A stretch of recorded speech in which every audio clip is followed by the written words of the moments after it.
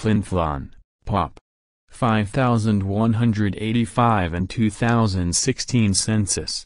4,982 in Manitoba and 203 in Saskatchewan, is a mining city in Canada.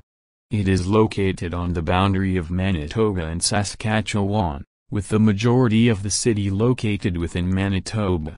Flin Flon was founded in 1927 by Hudson Bay Mining and Smelting, HBM and S, to exploit the large copper and zinc ore resources in the region. In the 1920s, HBM and S invested in a railway, mine, smelter, and a hydroelectric power plant at Island Falls, Saskatchewan.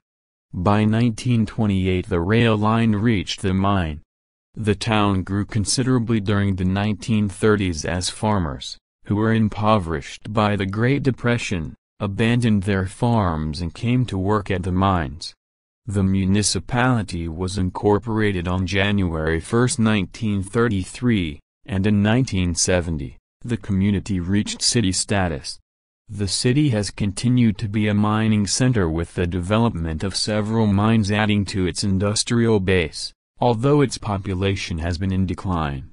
With a scenic setting and a number of nearby lakes, Flin Flon has also become a moderately popular tourist destination. Origin of the name The town's name is taken from the lead character in a paperback novel, The Sunless City by J. E. Preston Muddock. Josiah Flintabbatey Flonatin piloted a submarine through a bottomless lake where he passed into a strange underground world through a hole lined with gold.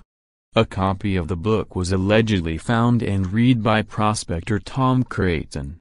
When Tom Creighton discovered a high-grade exposure of copper, he thought of the book and called it Flin Flon's Mine, and the town that developed around the mine adopted the name.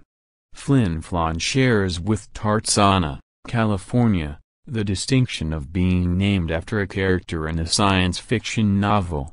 The character of Flinty, as he is locally known, is of such importance to the identity of the city that the local Chamber of Commerce commissioned the minting of a $3 coin which was considered legal tender amongst locally participating retailers during the year following its issue. A statue representing Flinty was designed by cartoonist Al Capp and is one of the points of interest of the city. In 1978, the National Film Board of Canada produced the short documentary Canada Vignettes, Flin Flon about the origin of the city's name.